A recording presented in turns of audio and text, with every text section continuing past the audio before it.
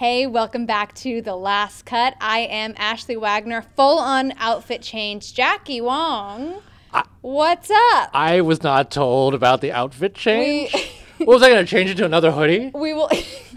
yeah, don't, doesn't this hoodie come in other colors? It does. It does.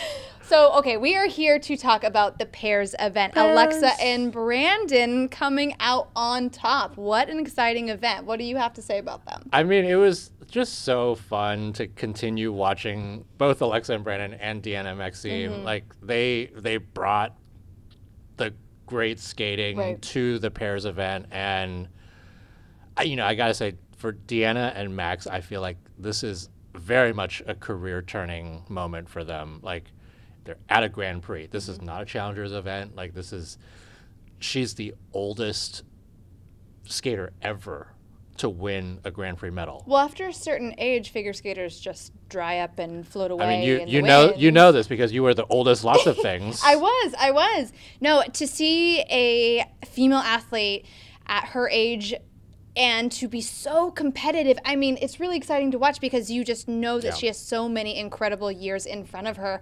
and to be putting out that kind of quality skating on this type of a stage Yeah. for the two of them, it's amazing. I mean, one of their throws it was the most superhuman thing I've ever seen in my entire life. She shouldn't have landed it, Yeah. but the power of Deanna Stellato, she said, not today.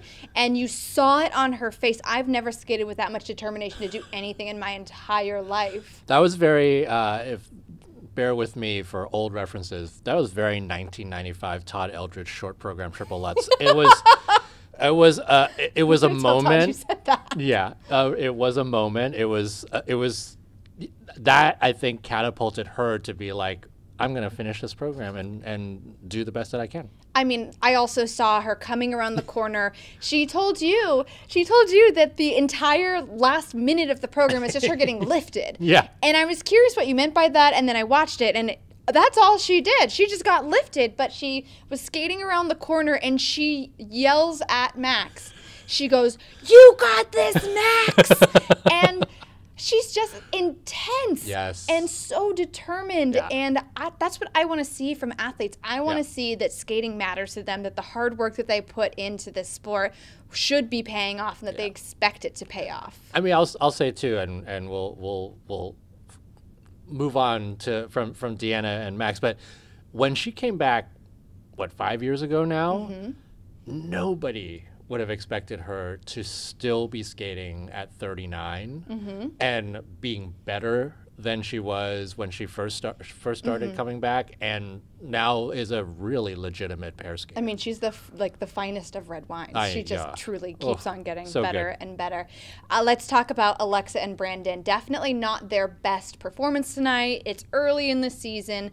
There were some moments that were a little bit sloppy. They doubled the side by side i feel like the difference is dana and max look like their side by side double sow was on purpose. They Yeah. were just kind of going for a clean skate not really the case for these two and it just looked like they they knew what they had to lose and sometimes when you're skating like that it can really Yeah. shift how you attack every element and that's what i feel like we were missing from them tonight yeah, that attack I, I agree. I mean, uh, the the throws have been really solid for them this week, and I don't. Um, it you know, they just I feel feels like either one of them or both of them backed off just a little, just to be conservative. But like the best Alexa Knierim throws are when she goes full out, and mm-hmm. we didn't quite see that from them.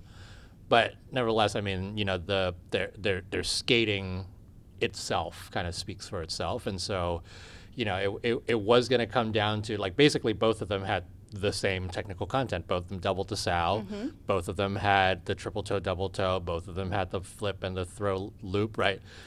What came down to the grades of execution, came down to the program compo- program components, mm-hmm. came back came down to the fact that Alexa and Brandon had the lead from the short program. So, mm-hmm. you know, it was like a four point swing. It wasn't. It was very close. It's going to be really exciting to watch them go head to head throughout this season.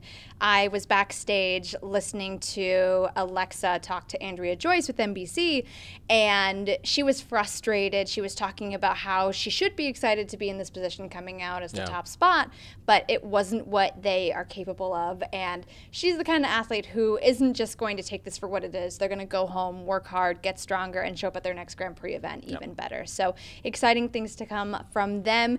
We are moving on to the men's free skate, so we will be right back after this event. I'm Ashley Wagner. This is Jackie Wong, and tune in for the next episode of The Last Cut here at the Skating Club of Boston.